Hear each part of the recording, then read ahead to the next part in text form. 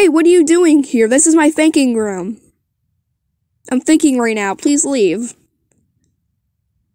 Why are you still here? I'm thinking. What? I look stuck? I'm not stuck. Just leave. Okay, fine, I admit I'm stuck. I don't know what to make for a video. Would you like an injury story? Would you like another Cedar Point story? Would you like a, a just overall funny story? I don't know. Whatever you guys want, just let me know in the comments what video I should make next.